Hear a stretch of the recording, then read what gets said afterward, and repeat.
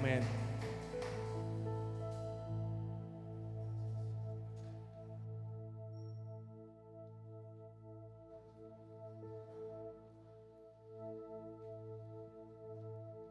Dios les bendiga.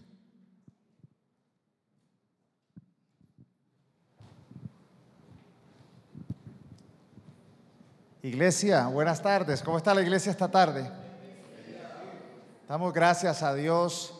Esta es una de las fiestas que realmente más me gusta a mí. Eh, en todo tiempo y en todo momento debemos de darle importancia a la Navidad. Aunque oficialmente no sabemos específicamente el día, el momento en que nació Jesús, qué bueno darle gracias a Dios y celebrar porque nació nuestro Salvador, porque nació Jesús. Y es una fiesta que aunque el mundo anda distraído, ah, el tráfico está congestionado, hay complicaciones a veces en los arreglos familiares, a veces es un tiempo de alegría, también es un tiempo de nostalgia, es un tiempo a veces de tristeza, es un tiempo donde muchos dicen, ah, me faltó, me faltó el arbolito, me faltó el estrene, me faltó para la comida, me faltó para el regalo, me faltó para tantas cosas. Qué bueno que hoy podamos entender cuál es el mejor regalo que tenemos. Y hoy la enseñanza se titula Mi mejor regalo de Navidad. El mejor regalo de Navidad que tenemos es Cristo, es Jesús. Ese es el mejor regalo.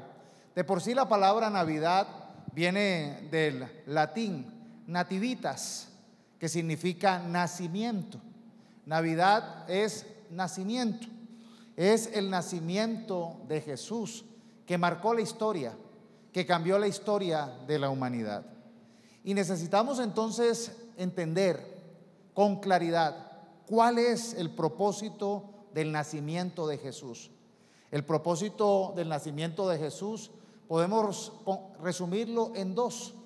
El primero, el propósito del nacimiento de Jesús fue revelarnos al Dios Padre, el amor del Dios Padre por la humanidad y el propósito de Dios que quiere que todos se salven.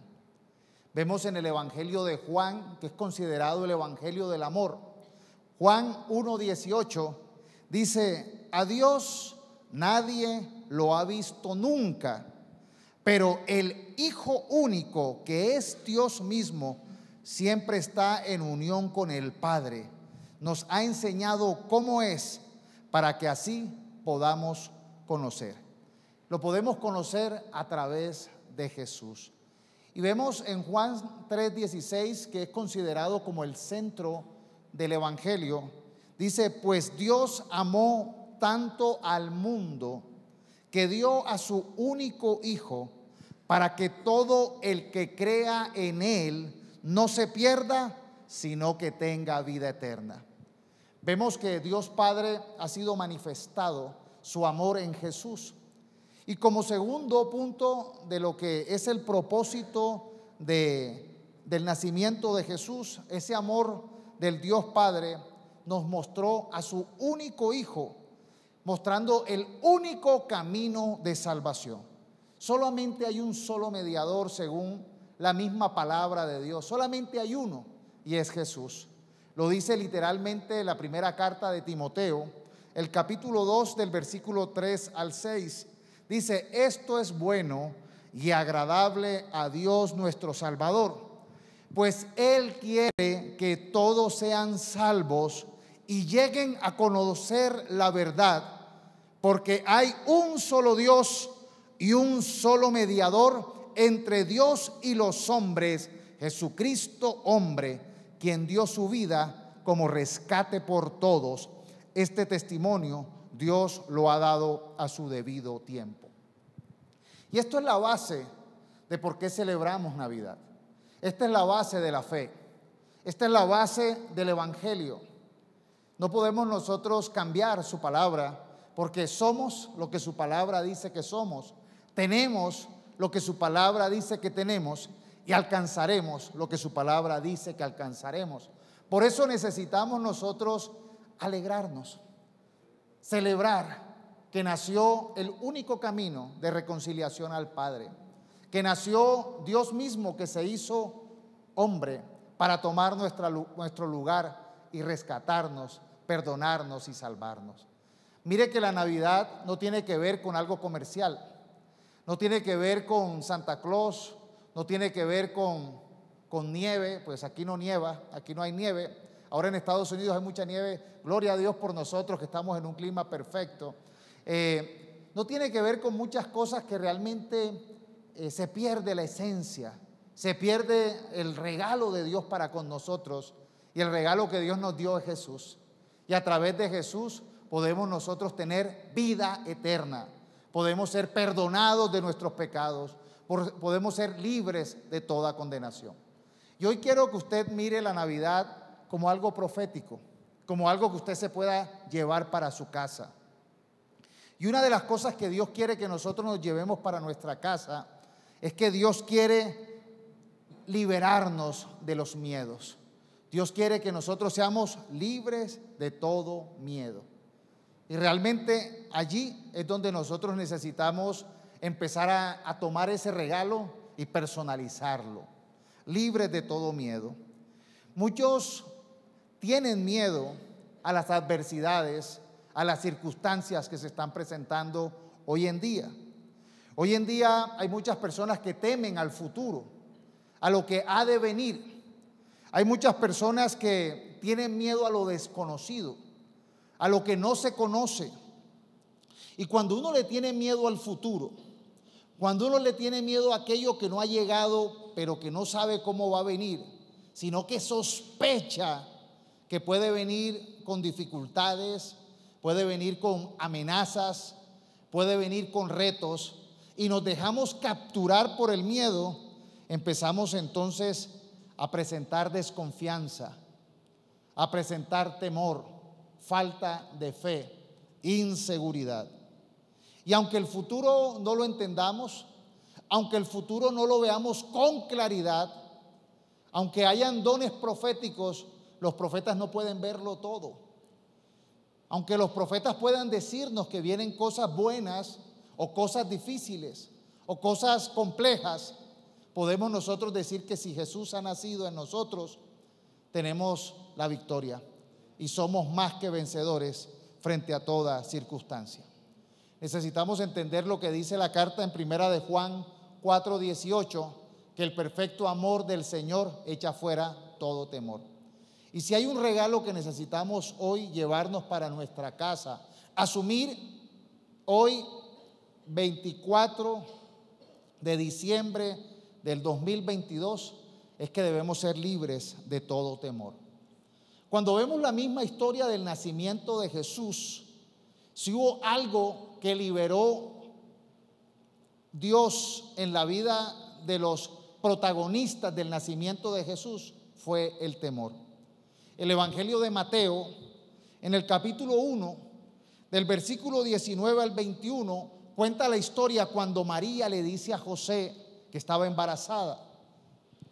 Dice el versículo 19, José su prometido era un hombre justo y no quiso avergonzarla en público.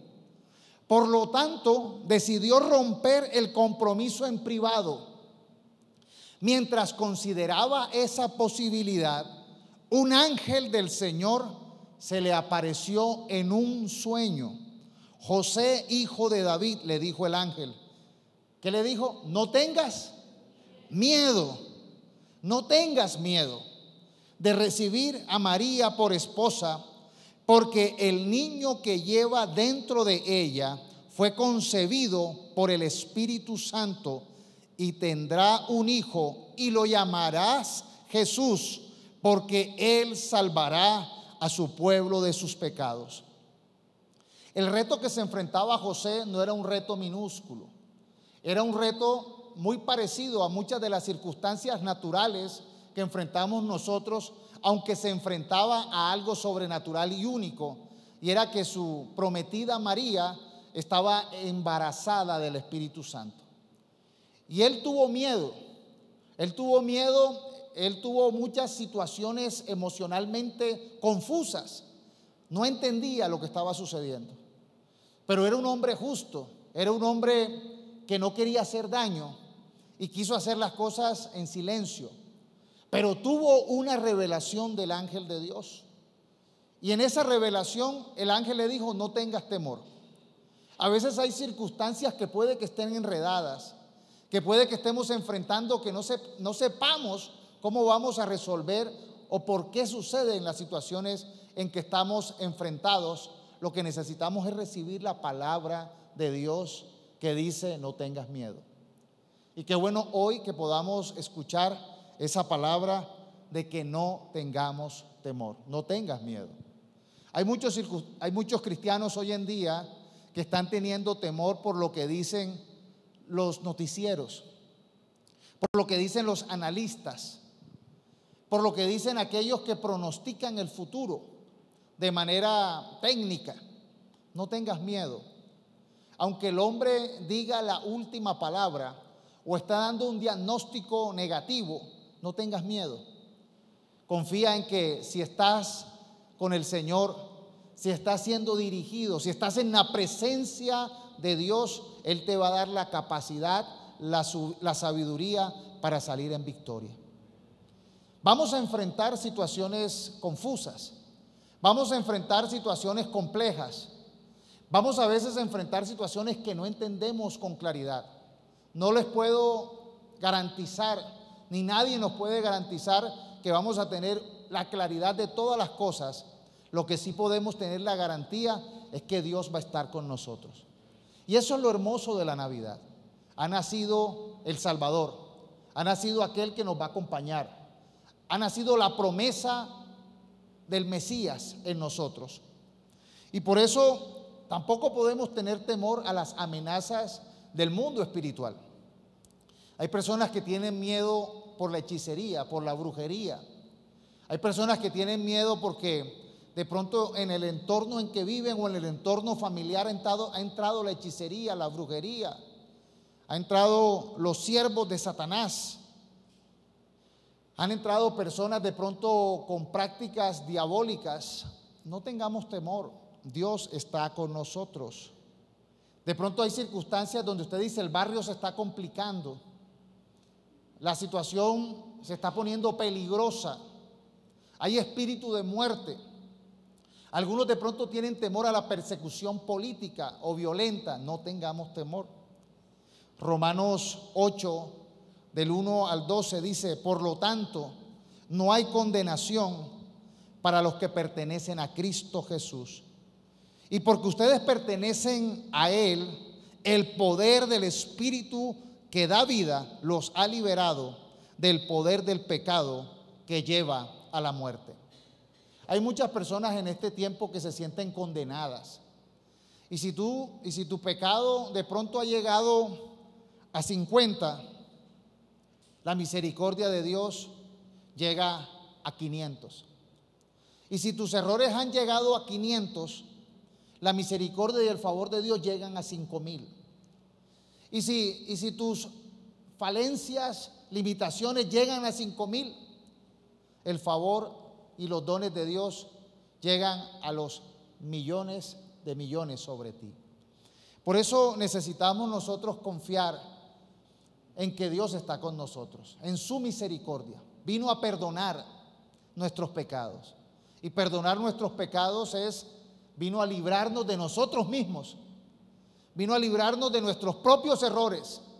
Vino a ayudarnos a solucionar el problema de nuestras deficiencias, de nuestras fallas, de nuestra inconsciencia, de nuestra oscuridad, de nuestras malas decisiones. Porque es que muchos decimos, no es que tomamos malas decisiones, es que tengo malos hábitos, es que yo sé, yo me conozco, pero aunque nos conozcamos y sepamos lo frágiles, los débiles, lo limitados que seamos, Dios vino a suplir nuestra necesidad. Vino a suplir, vino a acompañarnos con su misericordia, vino a abrazarnos con su favor, vino a darnos de su bondad, de sus dones y de sus capacidades. Entonces, debemos de echar fuera el temor. El temor de lo externo, el temor de lo interno, de que me conozco y confiar que nada ni nadie nos podrá separar de su amor. ¿Tú lo crees? Dale un aplauso al Señor. Alaba al Señor. Lo otro que quiero compartir es que no prosperará los planes del adversario. Yo quiero que tú le digas al que está a tu lado, no prosperará los planes del adversario. El adversario no triunfará. Sabes, el término adversario es un término elegante, porque en hebreo el término adversario es Satán. Satán, Satanás no prosperará. No prosperará el adversario, porque ha nacido Jesús en nosotros. Jesús, Jesús mismo. La historia que cuenta Mateo en el capítulo 2 es que él, él enfrentó muchas circunstancias. Satanás, el adversario, quiso usar a Herodes, que era el gobernante perverso de ese momento, para frustrar el propósito de Dios. Vemos que cuando llegaron estos sabios que llamamos los reyes magos, la Biblia no dice que fueran tres. No, no era Melchor, ¿cómo es? No era Melchor, Gaspar y Baltasar. No, eso fue un nombre que se inventaron. La Biblia dice que vinieron unos sabios de Oriente. No dice que eran tres. Lo que eran tres eran los regalos. Incienso, mirra y oro. Entonces a algunos se le ocurrió, no, vamos a poner que Melchor llevaba el incienso, que el otro llevaba... Y fueron tres. Dijeron que eran, fueran tres. La Biblia dice que vinieron unos sabios de Oriente y llegaron a preguntar dónde era que iba a nacer el Mesías, porque ellos venían viendo la estrella que había nacido. Y cuenta que Herodes escuchó esa historia, ¿cómo así? Que van a ser un rey. Y dice el versículo 7 que luego que Herodes convocó a los sabios a una reunión privada y por medio de ellos se enteró del momento en que había aparecido la estrella por primera vez, entonces les dijo, vayan a Belén y busquen al niño con esmero. Cuando lo encuentren, vuelvan y díganme dónde está, para que yo también vaya y lo adore. Después de esa reunión, los sabios siguieron su camino y la estrella que habían visto en el oriente los guió hasta Belén. Iba delante de ellos y se detuvo sobre el lugar donde estaba el niño. Cuando vieron la estrella, se llenaron de alegría. Entraron en la casa y vieron al niño con su madre María. Dice, y se inclinaron y lo adoraron, así como lo estamos haciendo hoy. Estamos inclinando, adorándonos frente al nacimiento de Jesús, frente al recuerdo del nacimiento de Jesús. Pero Herodes tenía otra intención. Él tenía otro plan con el nacimiento. Él quería era matarlo. Dice, cuando llegó el momento de irse, volvieron a su tierra por otro camino. Oiga bien, otra vez viene la advertencia de Dios. Ya que Dios les advirtió en un sueño que no regresaran a Herodes. Después de que los sabios se fueron, un ángel del Señor entonces se le apareció a José en un sueño, levántate, huye a Egipto con el niño y su madre. Dijo el ángel, quédate allí hasta que yo te diga que regreses, porque Herodes buscará al niño para matarlo. Esa noche José salió para Egipto con el niño y con María, su madre, y quedaron allí hasta la muerte de Herodes. Así se cumplió lo que el Señor había dicho por medio del profeta de Egipto llamé a mi hijo. Cuando Herodes se dio cuenta de que los sabios se habían burlado de él, se puso furioso. Entonces, basado en lo que le dijeron los sabios sobre la primera aparición de la estrella, Herodes envió soldados para matar a todos los niños que vivieran en Belén y en sus alrededores y que tuvieran dos años o menos. Los planes de Satanás el mismo nombre de Satanás es el adversario. Satanás con su propio nombre que tiene, tiene una meta. Y la meta es ser oposición, ser el adversario de los propósitos de Dios. Pero no va a prosperar, no va a triunfar. ¿Por qué? Porque cuando hay una iglesia, cuando hay unos creyentes que están conectados con la presencia de Dios, Dios va a revelar la estrategia. Dios va a mostrar el camino para que no caigamos presas, para frustrar sus planes. Si hay algo que nosotros necesitamos celebrar en esta Navidad, es el Dios que nos advierte, el Dios que nos protege, el Dios que nos revela la estrategia. Miren que por un sueño le dijo Dios a José, no tengas miedo. Y ahora a través de sueños empieza a decirle, huyan, muévanse, no confíen. Si hay algo que nosotros necesitamos celebrar, es ese don profético, es esa revelación personal, es ese Dios que habla y se comunica con nosotros. Si hay algo que necesitamos nosotros valorar, es la presencia del Dios vivo que nos está mostrando qué hacer, en qué, en qué momento movernos. Jesús dijo que éramos como ovejas en medio de lobos, pero que necesitamos confiar, que Él nos va a dar la astucia y la, y la mansedumbre que necesitamos para poder enfrentar toda situación.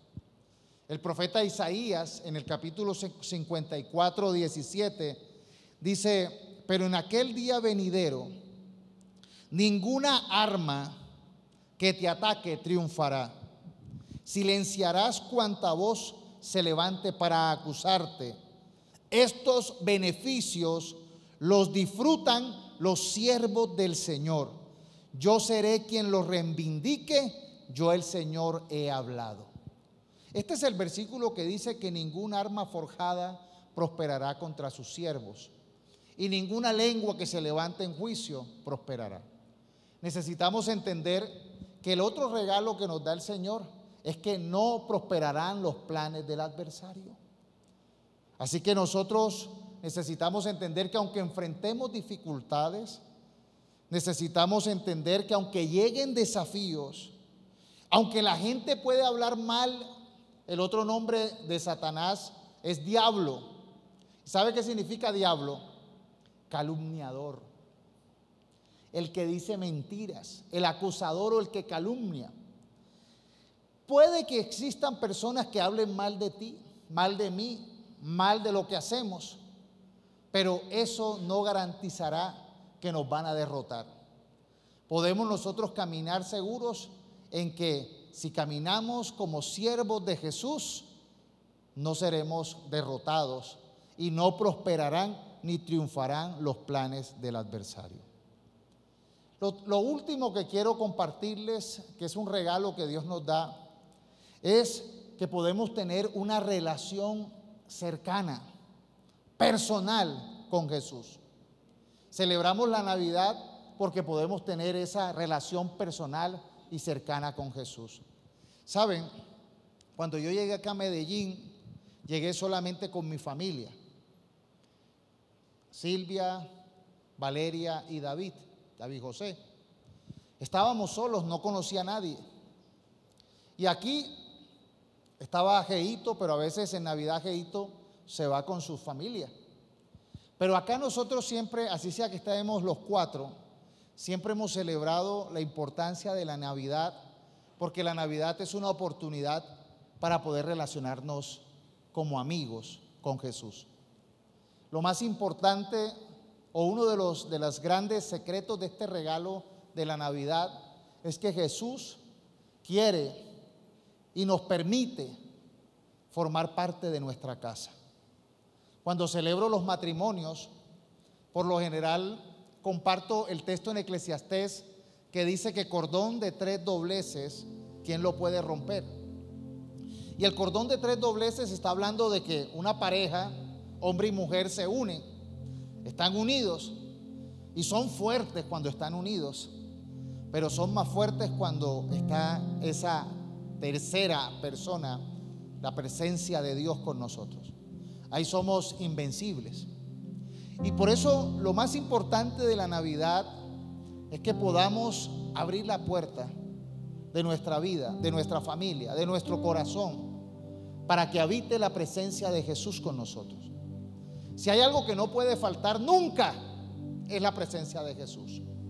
La Navidad yo he tenido Navidad, celebré Navidad solo cuando estaba en el ejército. Me tocó Navidad solo en el ejército. Pero allí daba gracias a Dios porque Jesús estaba conmigo.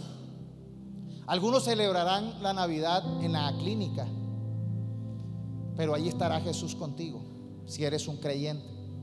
Algunos de pronto estarán en la cárcel y Dios estará allí acompañándolos. Alguno estará de pronto en alguna situación triste, solitaria o difícil, pero allí estará la presencia de Jesús si recibe este regalo. ¿Sabe lo que dice Apocalipsis? Apocalipsis 3, 20, 21 dice, mira que estoy a la puerta y llamo. Jesús diciendo que está a la puerta de nosotros. Mira que estoy a la puerta y llamo. Dice, si alguno o si oyes mi voz y abres la puerta, yo entraré y cenaremos juntos como amigos. Todos los que salgan vencedores se sentarán conmigo en mi trono, tal como yo salí vencedor y me senté con mi Padre en su trono. El mejor regalo que tenemos es poder tener la presencia de Jesús con nosotros.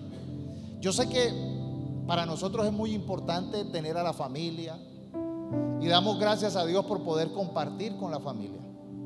Yo sé que para nosotros es importante y motivo de agradecimiento poder tener un plato especial en la casa, poder comer algo especial, poder tener una mesa arreglada y servida.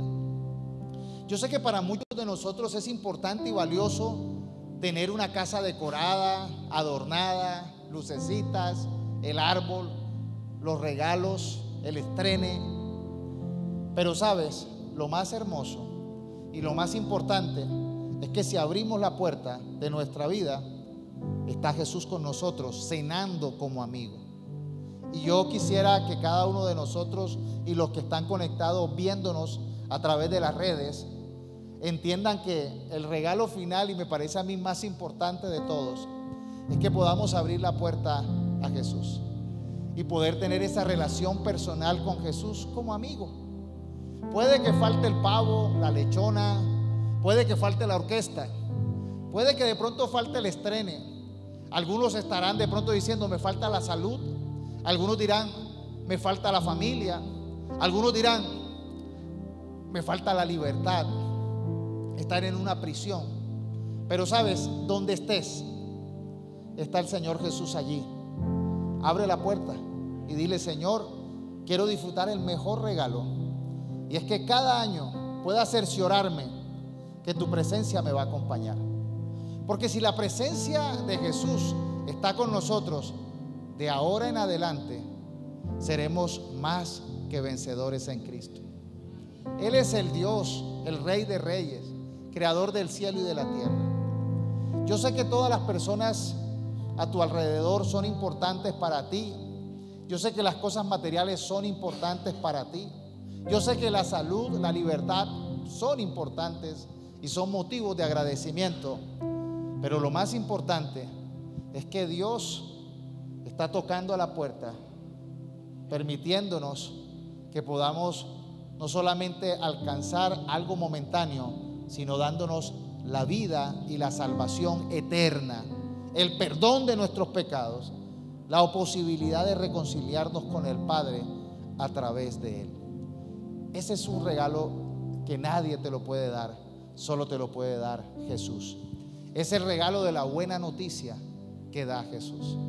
Así que yo quiero que hoy tu corazón se llene de alegría y puedas tener la actitud como la que tuvieron los sabios o los magos estos de Oriente que llegaron a adorar al Mesías.